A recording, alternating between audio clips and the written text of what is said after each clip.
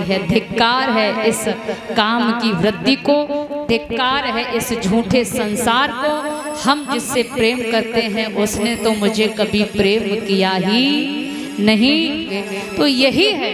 महाराज जी ये संसार है कि आप किसको चाहते हैं आपको कौन प्रेम करता है? लोग कहते हैं कि आ, जो व्यक्ति मुझे प्रेम करता था किसी ने कहा कि जो व्यक्ति मुझसे प्रेम करता था, मैंने उसे भुला तो दिया है, लेकिन फिर भी उसकी याद आती रहती है। इसका मतलब ये है कि आपने अभी उसे भुला ही नहीं पाया है।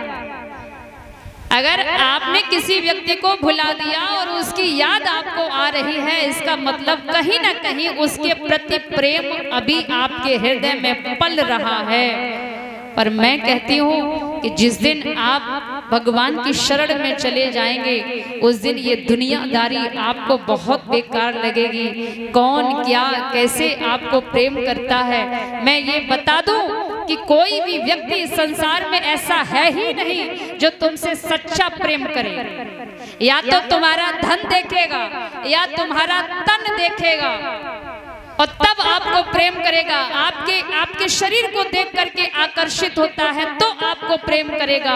और जिस दिन घाटे का सौदा हुआ, जिस दिन उसकी मर्ज़ी की नहीं हुई, उस दिन वो तुमको छोड़ करके किसी दूसरे के साथ चला जाएगा। यही दुनिया है। इसलिए ये मत कहिए कि हम उसको भुला नहीं पा रहे हैं। आप अगर मन में ठान लें तो अच्छे अच्छे कहाँ से कहाँ पहुँच गए ये तो बहुत छोटी बातें हैं। क्यों नीचे गिरना चाहते हो?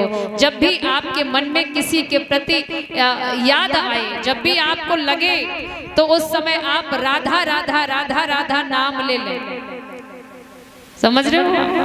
आपको लगे कि मुझे उसकी याद आ रही है तो फिर राधा राधा राधा राधा नाम जपना शुरू कर दें। और जब आप राधा राधा राम लेंगे तो उसकी याद अपने आप ही खत्म हो जाएगी। और धीरे धीरे आपको राधा नाम की आदत पड़ जाएगी। बोलिए वहाँ के बिहारी लाल की।